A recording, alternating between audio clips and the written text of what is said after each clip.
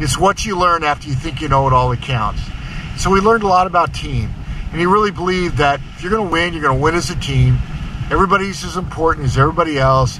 Last guy on the bench is as important as the star. And there is no star. The star is the team.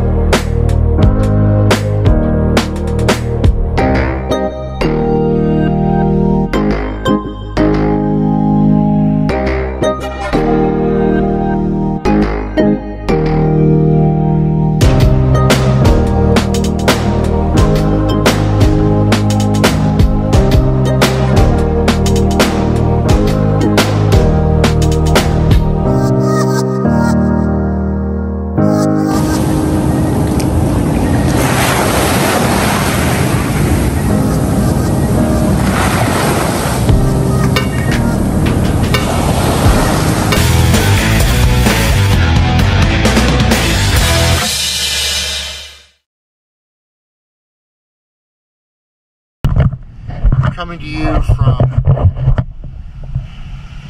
Naked Island. Not called naked because you get naked, but because it's, uh, it's got nothing on it. You can see in the background we're the only ones here. Hey, I want to talk to you about John Wooden. Since I'm sitting here, might as well go through it. It's vlog number 13, and this is about three things. About almost leaving UCLA, about team, and it's about criticism without anger. So let me start with almost leaving UCLA. So he was pretty cemented into UCLA after two years, but in the summer of of that year, Piggy Lambert at Purdue, his alma mater, retired, and they came calling John Wooden. And here's some perks they're going to give him: twice his salary, club membership, new car every year, huge uh, life insurance policy, a home on campus, and a full-time assistant. And back then in 1951, 1950, that was unheard of to get an offer like that. So of course, he was really excited. He went into the UCLA athletic department to talk to uh, the uh, the athletic director and tell him, "Hey, I want to forego my third year." And of course, the athletic director didn't want to lose him, so he said, Hey, John, you pushed really hard for that third year. We'd really like you to honor it. And John Wooden walked out of the office and said, Okay, I honor it. I'm a man of my word, man of integrity. They're not going to let me out of my third year. So went home and told Nell, was very disappointed and said, Hey, we'll, we'll spend one more year here. And then after the year, we'll go to Purdue. And uh, that was it. So after year three, Purdue never gave him an offer. And they was really starting to enjoy California and Hollywood and Westwood, and so they decided that it really didn't matter even if at that point that Purdue offered or not, they were pretty cemented in at UCLA. So number two, team. So he really believed in team. He said it took him 15 years before he won a national championship, and during that 15 years, he really redefined and defined his coaching abilities. Really took that long to get his system down and his coaching abilities to the point where he could win a national championship, first one in 1964. So during that time, he, he learned a couple things. It's, and here's a quote, another John Wooden quote. It's what you learn after you think you know it all that counts. It's what you learn after you think you know it all that counts. So we learned a lot about team. And he really believed that if you're going to win, you're going to win as a team. Everybody's as important as everybody else. Last guy on the bench is as important as the star. And there is no star. The star is the team. So a good example of this was Sidney Wicks. Came to him as one of the, the greatest power forwards in the country out of high school. In his sophomore year, he wasn't starting. And he was pretty disappointed about it. He came up to John Wooden and said, John, you know I'm better than everybody out there. Why don't you play me? Why don't you start me? He said to Sidney, I know you're better than everybody out there. You know, your players know. But until you figure out how to play as a team member, you're not going to start. So he believed in sharing the ball. He didn't believe that one guy take all the shots. He believed in team, true team. Everybody contributes. And so it took Sidney till his junior year before he figured this out. His junior and senior, he started. He's two-time All-American, and he was a pivotal factor in, in, in UCLA's two national championships in 1970 and 71. So that's what team's all about. No matter how good you are, you're not more important than the team. Boy, how that's changed today, unfortunately. The, set, the third thing he learned was criticism without anger. And a good example of this was he, never would criticize his team or players at the end of a practice. He never he never criticized them or yell at them. He was a very very big dis- disciplinarian, very firm on what he wanted. He was the leader. Didn't want him to lead lead uh, him blindly, but they wanted him to know that hey, I'm I'm the leader here.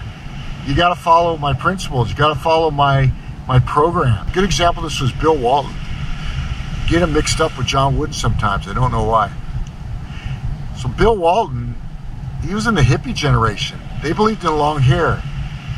John Wooden didn't believe in long hair at all. He believed in short hair. He believed in tighten it up, look good, look ready. And so every season, Bill would come to coach right before practice with long hair. Say, Coach, I don't really cut my hair, do I? And Coach, I'm not going to cut it this year. And John Wood would say to Bill, Bill, it's been great having you on the team. You've been a great player. It's been great knowing you, and I wish you the best in life. And he'd take out his hand and shake his hand. And Bill would, every time, get on his bike, ride down to the barber shop, get his hair back, ride back to practice, and be ready to practice. People used to ask John Wooden, would you have really suspended Bill Walton for a long time. And he said, Bill thought so. That's all that mattered. So he learned that that you can you can get your point across without anger. And another thing he learned at the end of practice, you got to do something fun. And I would encourage you guys, at the end of practice, incorporate an activity that's really fun for your players. So his was back for a long time. You couldn't dunk in high school, in uh, college. You couldn't dunk. You couldn't dunk. So at the end of every practice, he would let his players go crazy for five minutes and just dunk. Dunk whatever way they want. And he said they, they were like little kids, little kids hooping and hollering. They were so happy. They did this at the end of every practice. They looked forward to it. And so that was his fun thing. I know for us, it was half court shots with the players, coaches against players. Find something fun to do with the kids at the end of practice.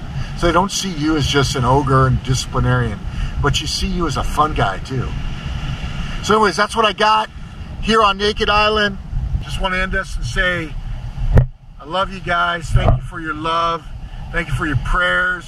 Thank you for your support. And just cannot thank you enough. Go Bearcats!